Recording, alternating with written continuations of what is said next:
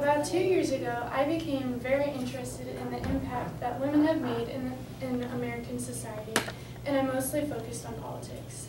You might think it's silly, but this is because of the fictional character Leslie Knope from the TV show Parks and Rec.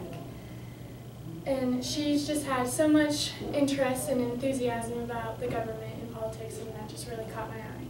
While most teenagers who are younger than 18 do not necessarily follow politics or find interest in it, it is very important for them to follow along as they are the next generation to vote. Many adults over the age of 18 also do not follow politics or have interest in it either, even though they could be the, the deciding factor in who leads our country. For the past two years, I have been interested in politics and the impact our leaders have made in society, including small town local governments. I know from my audience analysis that many of you know about the political impacts of most male officials.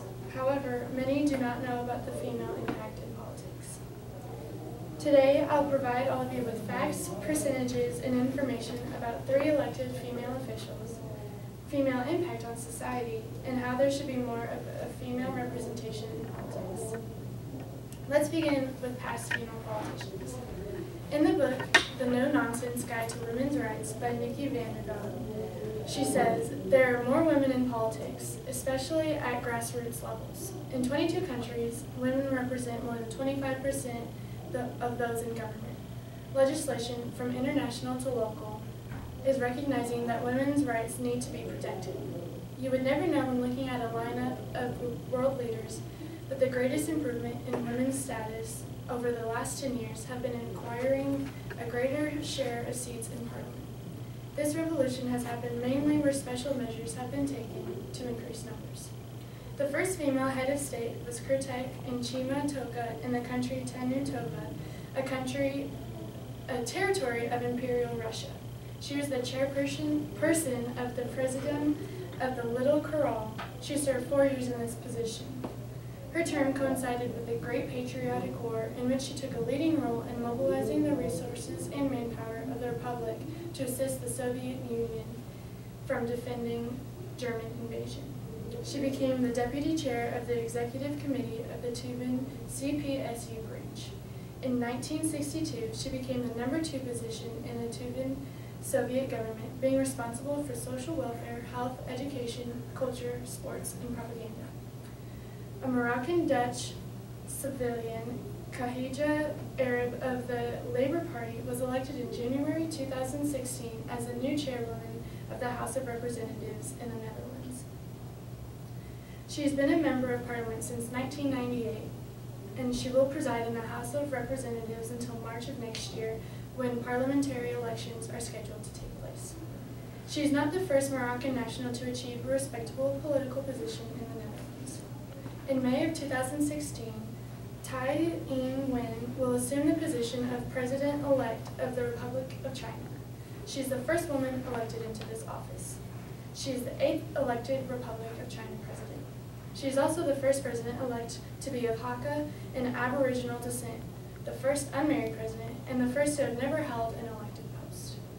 After some examples of women in politics, let's talk about women's impacts they've made in society.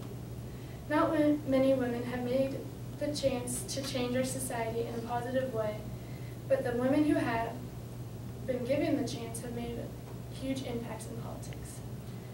And I have a quote here from Madeleine K. Albright, the NDI chairman, and she says, every country deserves to have the best possible leader, and that means to have women be given a chance to compete. If they're never allowed to compete in the electoral process, then the countries are really robbing themselves of a great deal. And then you also know many politicians, like Hillary Clinton is a huge politician now, and she is pushing for lots of different ideals and she's a Democrat and she's just, she could be a very good possible president. So just keep that in mind. And I've now given you some examples of positive impacts women have made, but now let's talk about the unequal representation. According to the Pensacola Journal, in the article published in June of 2015, Do Our Daughters Do Politics by Diane Mack, Young men are more likely than young women to be socialized by their parents to think about politics as a career path. From the school experience to their peer associations to their media habits, young women tend to be exposed to less pol political information and discussion than young men. Women face numerous obstacles in achieving representation in government. Their participation has been limited by the assumption that women's proper sphere is the private sphere. The public sphere is one of political authority. The private sphere is associated with the family and the home. By keeping women to the private sphere, their ability to enter the political arena is cut short. Gender inequality within families, unfair division of labor within households, and cultural attitudes about gender roles further force women and serve to limit their representation in public. Societies that are mostly patriarchal often have local power structures that make it difficult for women. Young women are less likely than young men to get encouragement to run for office. Young women are less likely than young men to think they will be qualified to run for office, even if they are established well into their careers. When asked, have you ever thought about um, running for political office, 63% of the young women and only 43% of the young men asked in the survey replied that they had never thought about it. However, women are increasingly being elected to be heads of state and being elected into government. More than 20 countries currently have a woman holding office as the head of the national government, and the global rate of women in national level parliaments is nearly 20%. A number of countries are exploring measures that may increase women's participation in government at all levels, from local to international. The UN has identified six avenues which female participation in politics and government may be strengthened.